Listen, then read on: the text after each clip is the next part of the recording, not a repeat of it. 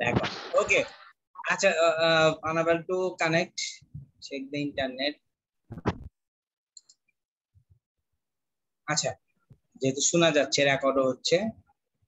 ওকে তাহলে দেখো, আমি প্রোগ্রামে ছিলাম। এখন দেখো, আমি কিন্তু একটা কমেন্টস লিখছি। এটাকে বলা যায় কমেন্ট সেকশনে বলা যায়। লিখতে পারো, নাও লিখতে পারো। তাহলে দেখো, এখন প্রোগ্রামে এই যে ফাংশন ডেফিনেশন সেকশন দেখো। আমি ইচ্ছা করলে এটা লিখে নিতে পারি। এই সেকশনটা কি ফাংশন ডেফিনেশন আমার নাও লিখতে পারো। ডিফাইন অ্যাড তার মানে আমি একটা ফাংশন বানাচ্ছি অ্যাড নামে। শুনতে পাচ্ছ সবাই? হ্যালো আচ্ছা ঠিক আছে। তাহলে ডিফাইন অ্যাড একটা ফাংশন ডিফাইন করতেছি ডেফিনেশন দিচ্ছি। এই দেখো দেখছ? আবার খেয়াল করো ইন্টার দেওয়ার সাথে সাথে কার্সর মাঝামাঝি আছে। এটা না হয় কম্পিউটারে মাঝামাঝি, পরীক্ষার খাতা কিন্তু মাঝামাঝি আসবে না, তোমাদের লিখতে হবে। সুতরাং পরীক্ষার খাতায় কেটে জিরো দিয়ে দিব, এটা যদি ফলো না করো। আর কম্পিউটারে তো অটোমেটিক আসছে। এটাকে বলে ইনডেন্টেশন মার্জিন পাইথনের আচ্ছা তো দেখো আমি এখন আমি এখন এই মুহূর্তে অ্যাড ফাংশনের বডির মধ্যে আছি, এটাকে বলে ফাংশন বডি এখন আমি লিখব। ধরো, এই যে পাইথন তো অনেক স্মার্ট আলাদাভাবে লিখতে হয় না যে এটা এ ভ্যারিয়েবল বি ভ্যারিয়েবল একবারে ভ্যারিয়েবল লিখে তার মধ্যে মান নিয়ে নিতে পারে। এই যে সেমিকোলন দিয়ে শেষ করলাম মানে একটা লাইন শেষ হলো। এটাকে বলে একটা statement B equal to twenty আরেকটা স্টেটমেন্ট শেষ হলো। C equal to A plus B এটাকে সেমিকোলন দিয়ে শেষ করলে আমরা বলি স্টেটমেন্ট শেষ হলো। প্রত্যেকটাকে বলতেছি। কিন্তু তারপরেও এই লাইনটা একটু স্পেশাল এটাকে আমরা বলি এক্সপ্রেশন মনে রাখো আমরা যখন সেমিকোলন দিয়ে কোনো লাইন শেষ করি, তখন এটাকে বলি এক একটা স্টেটমেন্ট ইংরেজি ল্যাঙ্গুয়েজে যেমন বলি একটা সেন্টেন্স শেষ হলো, এরকম এখানে বলি এক একটা স্টেটমেন্ট শেষ হলো। আচ্ছা যেগুলো সূত্র প্রোগ্রামিং ল্যাঙ্গুয়েজে সেগুলোকে বলি আমরা এক্সপ্রেশন এটাকে বলি এক্সপ্রেশন মাথায় রেখো এক্সপ্রেশন ওকে ইন্টার দিলাম। কি লিখব? প্রিন্ট একেবারে সিম্পল একটা প্রোগ্রাম দেখো কিচ্ছু লিখি নাই। একেবারে সহজে শেষ করে দিব। প্রিন্ট দেখো, এখন আমি ফাংশনের বডিতে আছি, দেখছ? এই যে বডিতে আছি। আমি যদি চাই বডি থেকে বাহিরে বের হব, একটা ব্যাক স্পেস দিব, বের হয়ে গেছি, দেখছ? বের হয়ে গেছি। একেবারে কারসর দেখো, বাম দিকে আছে। এখন দেখো, আমি এই প্রোগ্রামটাকে রান করাবো। আমি কি করল? আমি প্রথমেই বলছি আমি যদি মেইন ফাংশন না লিখি, সরাসরি কল দিতে পারি। অ্যাড দেখো পাইথন অনেক স্মার্ট নিজে নিজে রান হয়ে যাবে। এই ফাংশনটাকে আমি কল দিলাম, যাকে ফাংশন কলিং বলে। এই দেখো, শেষ। কন্ট্রোল দিয়ে এস দিব সেভ করলাম। মানে আবারও দেখাই ফাইল সেভ করলাম। সেভ করার পর রান করব কীভাবে? দেখো, এই রান বাটন এসে রান মডিউল অথবা কিবোর্ড থেকে এফ ফাইভ চাপলে রান হবে। দেখো রান হয়েছে তিরিশ। আসছে যোগ যোগের result ji sir. Ji sir তাহলে এখন আমার কিন্তু প্রোগ্রাম কিবোর্ড হয়ে থেকে গেছে। রান হয়? হ্যাঁ? স্যার কিবোর্ড থেকে কি টিপ দিলে রান হয় sir?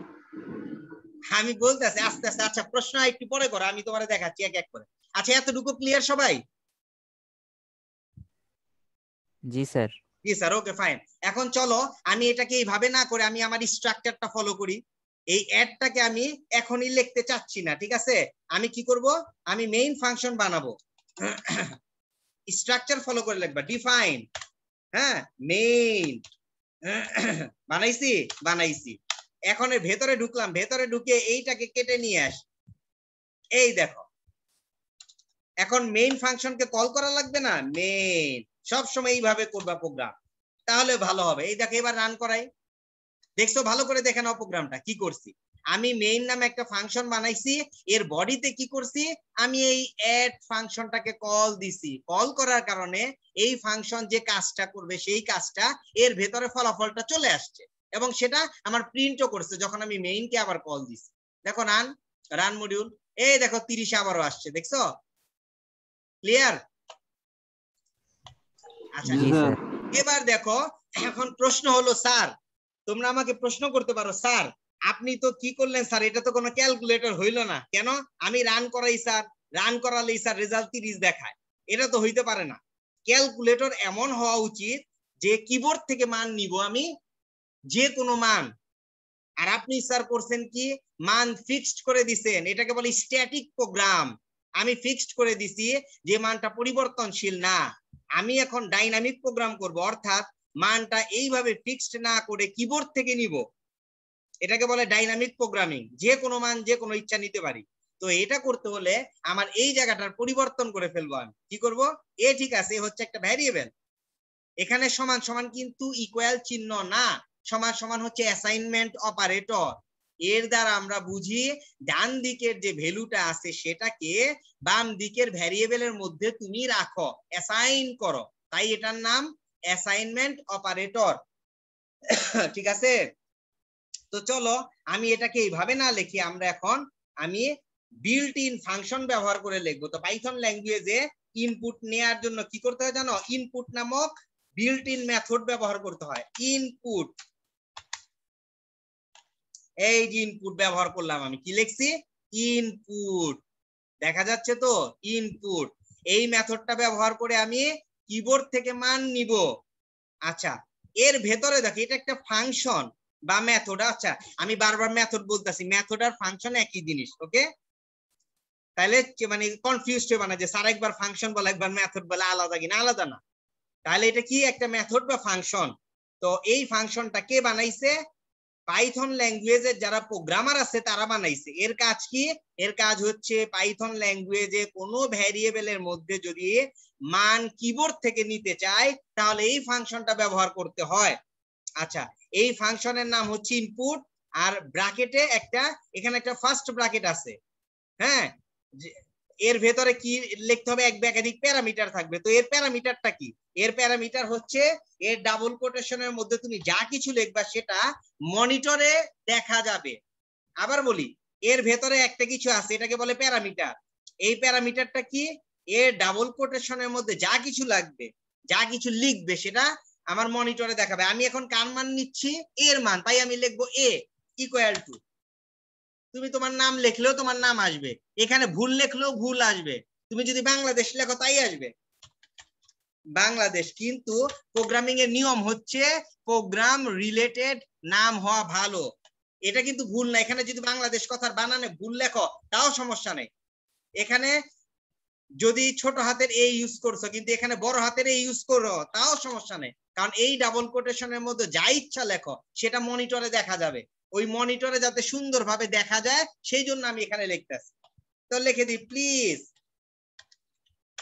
enter a value for a equal to এত। এর জন্য ভ্যালু টাইপ করো, তাই লিখে দিলাম আমি ওকে একইভাবে আমি এটা লিখব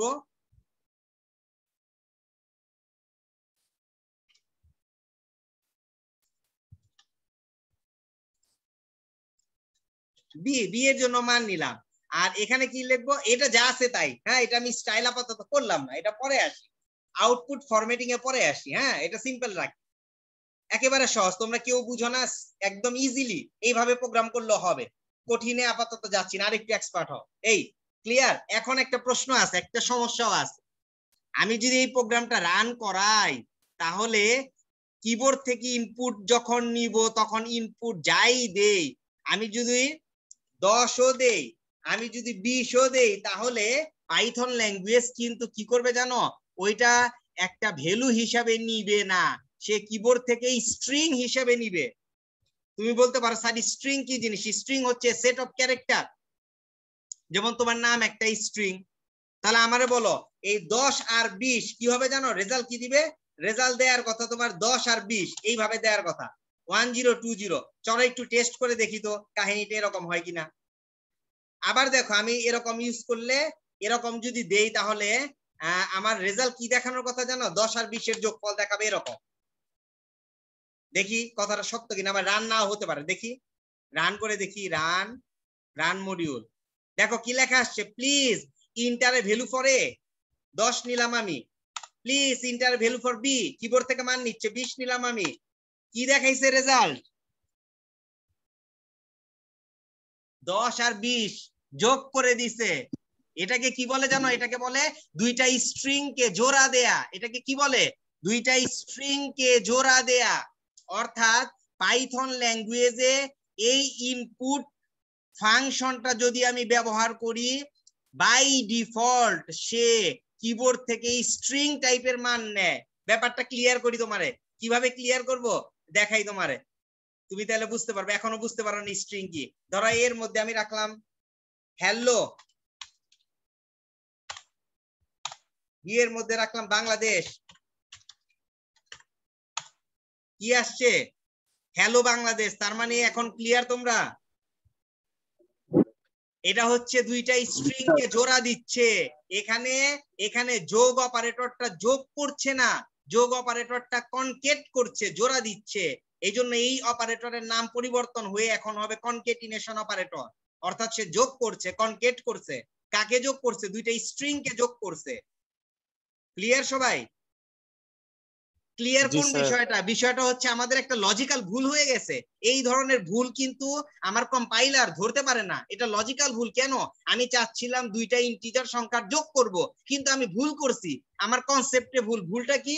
আমার জানা উচিত ছিল ইনপুট ফাংশনটা কিবোর্ড থেকে যে মানি নেয় দশ নিল সেটাকে স্ট্রিং হিসাবে চিন্তা করে। হিসেবে নয়। হ্যাঁ ইন্টিজার হিসাবে নেয় না। তাহলে কি করা লাগবে দীপু? আমার বলো কি করা লাগবে? আমার কি কারিগরি করব? আমাদের লজিকটা কীভাবে ঠিক করব? লজিকটা হচ্ছে কনভার্ট করা লাগবে।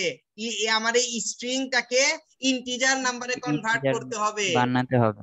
হ্যাঁ ইন্টিজার বানাতে হবে। তো সেই কাজটা করার জন্য আমার পাইথন ল্যাঙ্গুয়েজ আমাদের ইন্ট নামক একটা ফাংশন অফার করে বিল্ট ইন ফাংশন যার কাজ হচ্ছে স্ট্রিং টাইপের ভ্যারিয়েবল কে বা যে কোনো টাইপের ভ্যারিয়েবল কে বা ডাটাকে ভ্যারিয়েবলের ডাটাকে যে কোনো ডাটা টাইপের ভ্যালুটাকে ইন্টিজারে রূপান্তর করে বা কনভার্ট করে। কাজটা কি? জাস্ট আগে আমি ইন্ট কথাটা যুক্ত করে দিব এবং এটা একটা ফাংশন তার প্রমাণ হচ্ছে ফাংশনের একটা নাম থাকবে, তার একটা ফার্স্ট ব্র্যাকেট থাকবে। এই দেখো ফার্স্ট ব্র্যাকেট আর তার ভেতরে এক একাধিক প্যারামিটার থাকতেও পারে, নাও থাকতে পারে। তো এই ইন্ট ফাংশন যে এটা এটা যে একটা ফাংশন তার প্রমাণ হচ্ছে তার একটা নাম আছে, তার একটা ব্র্যাকেট আছে। আর এই ব্র্যাকেটের ভেতরে যা কিছু থাকে সেটা হচ্ছে তার প্যারামিটার আমি প্যারামিটার হিসাবে একটা ইনপুট নিয়ে দেখায় দিচ্ছি, তাই না? তো এ কি করবে? এর কাজ হচ্ছে আমার এই দশ কে এখন ইন্টিজারে কনভার্ট করবে। দেখো রেজাল্টটা পাল্টে যাবে এখন। দেখো ইন্ট আমি এখন এটাকে একটা মেথডে দিলাম। এখন দেখো মজার কাণ্ড, আগের মতো রেজাল্ট দিবে না। দশ